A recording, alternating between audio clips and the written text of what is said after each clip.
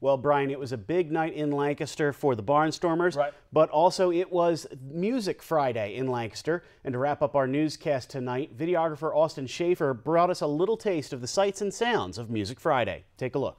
all of the local talents are coming out and trying to showcase what they've got to offer because Lancaster is a great up and coming city as far as local music.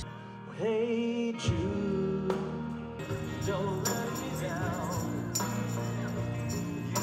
Lancaster has a growing music scene, and I know there's stuff going on all throughout the city tonight musically. It just has a great atmosphere.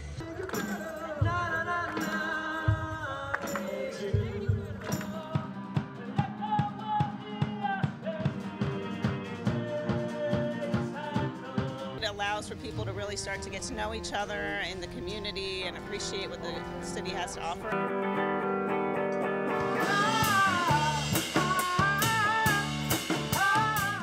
Lancaster has a culture of its own, and I think music has always been a huge part of culture. So by growing the music scene, it's making Lancaster what it is.